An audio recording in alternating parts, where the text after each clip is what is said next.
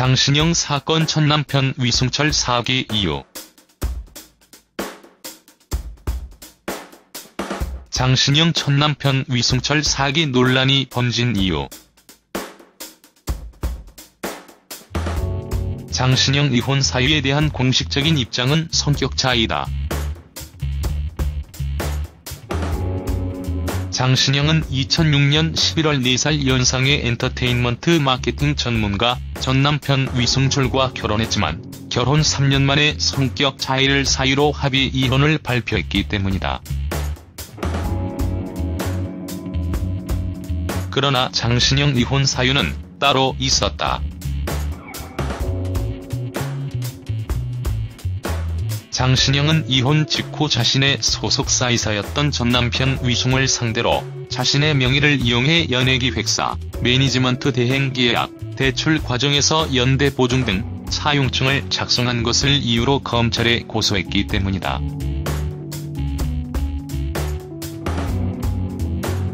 즉 전남편 위승철이 장신영 명의를 이용해 다수의 계약을 체결해 문제가 터진 것이 장신영 사건으로 불리는 것인데 이를 두고 세간에서는 사기 결혼까지 언급하며 장신영 사건 논란을 키우기도 했다.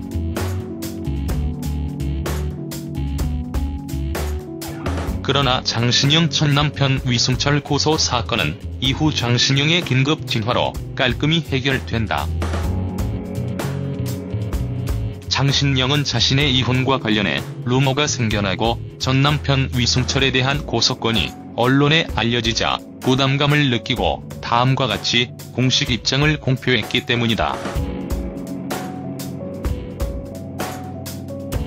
장신영 소속사를 통한 공식 입장 내용이다.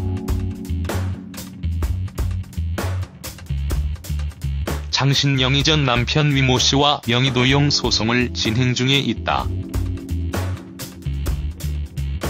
이를 인정한다.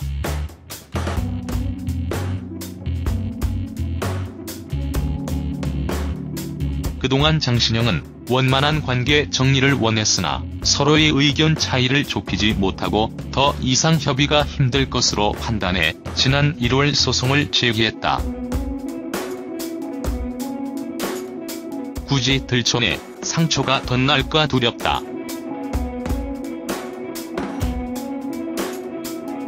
공인으로서 무리를 일으키고 싶지 않아 조용하게 매듭 짓고 싶었다. 확대되는 걸 원하지 않는다. 그저 있는 그대로만 봐주길 바란다. 이어 장신영 측은 자신의 일로 많은 팬들을 놀라게 하고 미리 솔직하게 밝히지 못한 것에 대해 사과했다. 그러면서도 사건이 확대되길 원치 않는다는 입장을 분명히 했고 추측성 보도를 자제해주길 부탁했다. 이후 장신영 첫 남편 위승철에 대한 보도 내용은 나오지 않았다. 아마도 법적인 문제가 잘 해결되었거나 장신영이 고소를 취하했을 가능성도 커 보인다. 어찌되었건 전 남편과 사이에서 낳은 아들이 있으니 말이다. 현재 장신영 전 남편 위승철은 보험 개통에서 일을 하고 있다고 한다.